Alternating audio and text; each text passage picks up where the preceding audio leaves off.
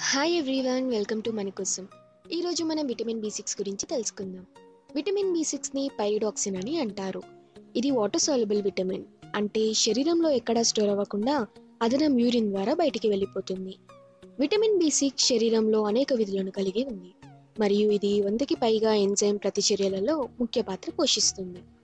Vitamin B six పుష్కలంగా లభించే ఆహార పదార్థాలు చూద్దాం.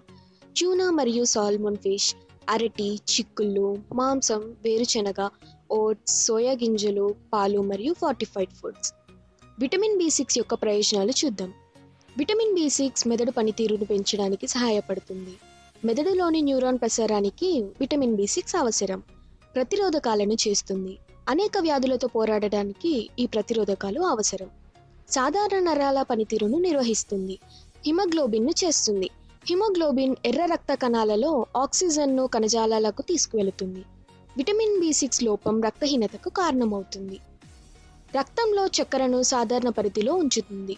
ఈ ముఖ్యమైన విటమిన్ అనేక ఇతర ఉపయోగాలను కలిగి ఉంది మరియు లోపం శాశ్వత నరాల నష్టానికి దారితీస్తుంది.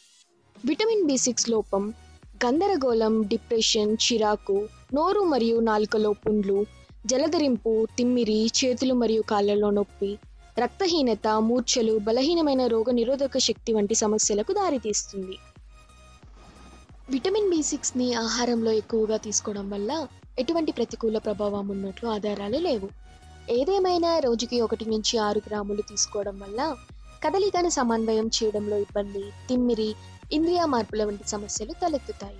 అధిక ప్రోటీన్ కలిగిన ఆహారం తీసుకునేవారు విటమిన్ బి సిక్స్ని కూడా ఆహారంలో అధికంగా ఉండేలా చూసుకోవాలి. విటమిన్ బి సిక్స్ ప్రోటీన్లను విచ్ఛిన్నం చేస్తుంది.